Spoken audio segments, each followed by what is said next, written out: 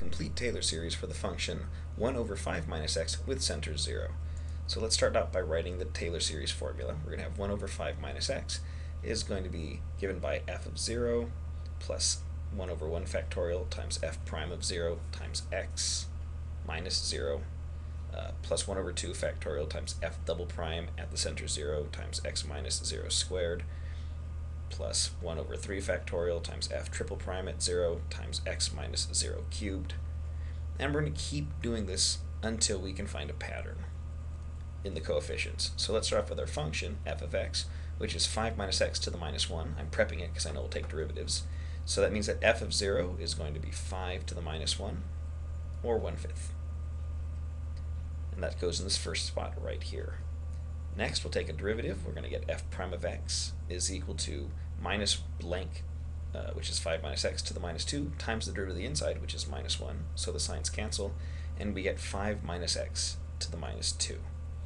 Plugging in 0, we're going to get uh, 5 to the minus 2, or 1 over 5 squared.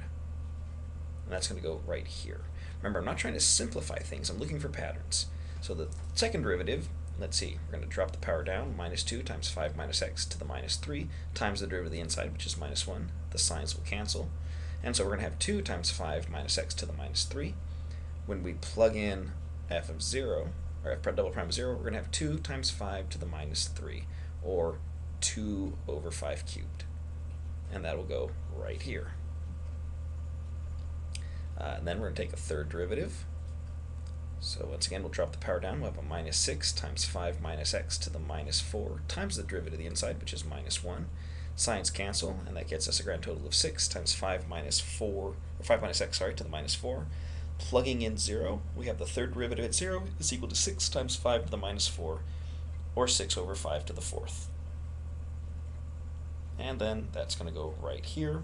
If we took a fourth derivative, just hunting for patterns, let's see what we're going to get. We're going to get a uh, negative 24 times 5 minus x to the minus fifth times the minus 1 from the inside. Signs change, and that gets us 24 times 5 minus x to the minus 5. Plugging in uh, x equals 0, and we get that the fourth derivative at the center is 24 times 5 to the minus 5, or 24 over 5 uh, to the fifth. That's going to go right here and would be the next term in our series. So let's leave some space for more of these guys and see if we can find a pattern. The denominators are pretty clear, 5 to the 6, 5 to the 7, 5 to the 8. What about those numerators, 1, 1, 2, 6, 24? Well, 1, 1, 2, 6, 24. That's precisely the factorial sequence, 1 factorial, 2 factorial, 3 factorial, 4 factorial, with 1 being 0 factorial.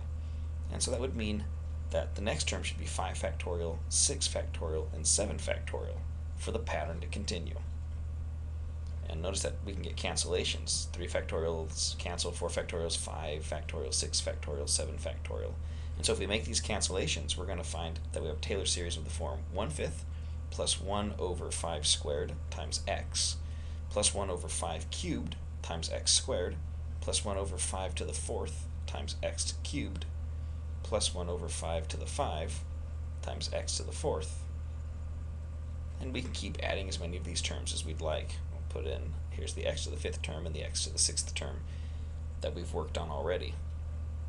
And so the upshot is this series right here is easily communicable to anybody else. And so it's the Taylor series for 1 over 5 minus x centered at 0.